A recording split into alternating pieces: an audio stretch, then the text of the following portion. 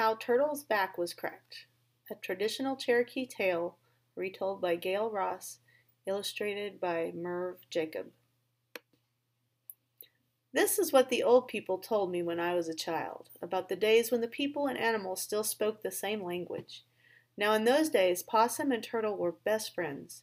Many people thought it odd that two such very different creatures would be so close. But Possum and Turtle knew they had a lot in common.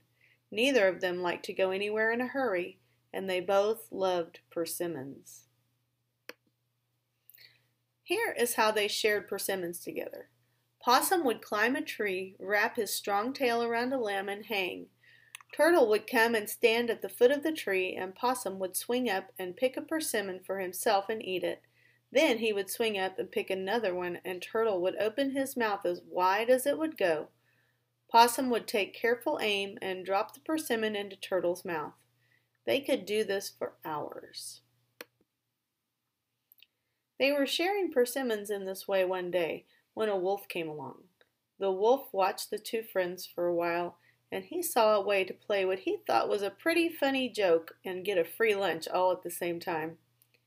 He went and he stood behind Turtle and when Possum dropped a persimmon, the wolf leaped into the air and snatched it before it could land in Turtle's mouth. When Turtle opened his mouth, he closed his eyes, so he did not see the wolf. All he knew was that he saw Possum drop the persimmon, but it did not land in his mouth. And after he saw many, many persimmons dropped that he did not eat, Turtle began to get angry. Possum up in the tree saw Wolf and realized what was happening. Now, if you had a best friend and you're trying to make a present to him and someone comes along and steals it, it can make you angry. And that's how it was with Possum. He decided to fix that wolf. He looked all around the tree and found the biggest, ripest persimmon he could find. Then, instead of just dropping the persimmon down to Turtle, he threw it with all the strength he had, and the greedy wolf leaped into the air with his mouth wide open, the persimmon flew down his throat and stuck there, and he choked to death. Possum thought no more about it. He went back to eating persimmons. When Turtle opened his eyes and saw the dead wolf, he realized where his persimmons had gone, and he, the more he thought about it, the, the more he thought about how Wolf had stolen his food, the angrier he became. He began to scold the wolf, saying, you are a very greedy wolf. You got what you deserved. Then he said, Possum and I sure showed you. You won't be stealing any more persimmons. And then, that was a very brave thing for me to do.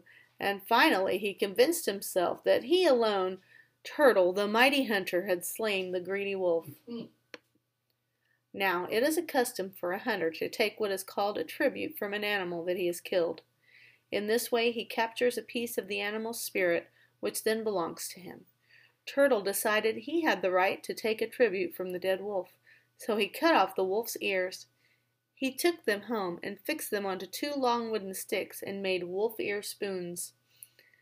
In the old days, it was another custom to offer a visitor food to eat, the very first thing, and there was a special dish that was usually kept cooking at all times just to offer a guest.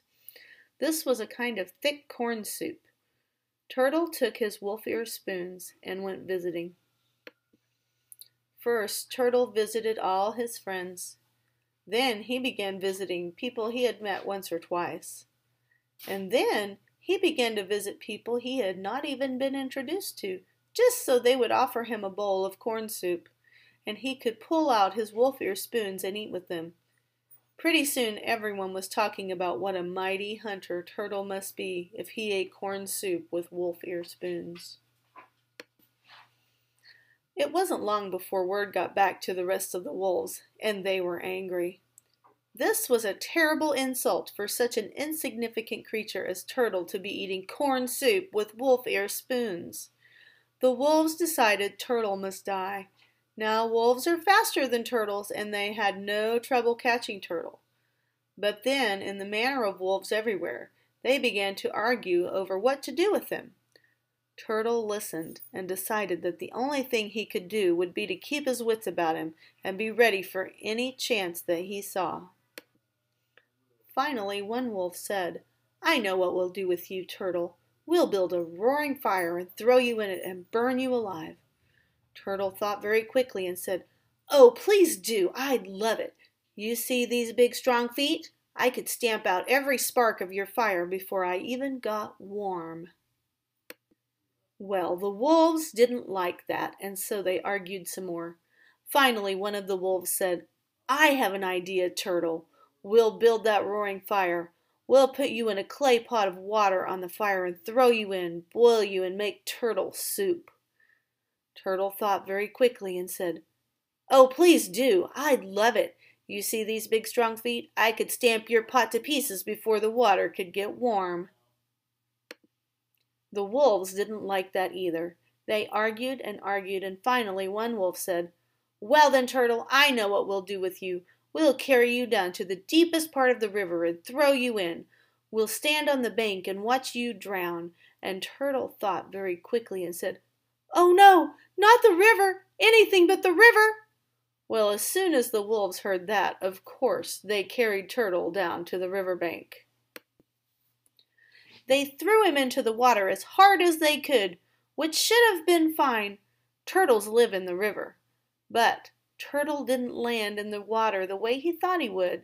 The wolves threw him so hard he went spinning end over end as he fell, and he landed on his back on a rock in the middle of the river, and then he bounced into the water.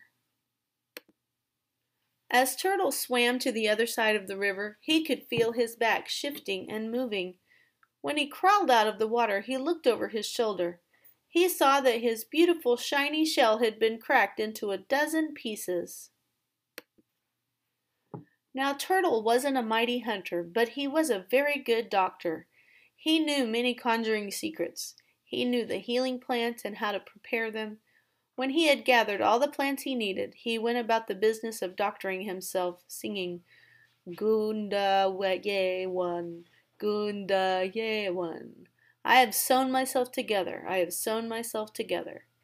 And over the over time that passed from day to this day, Turtle's shell has grown strong again. But if you look closely, you can still see the lines where Turtle's back was cracked, and you will never see another turtle eating corn soup from wolf ear spoons.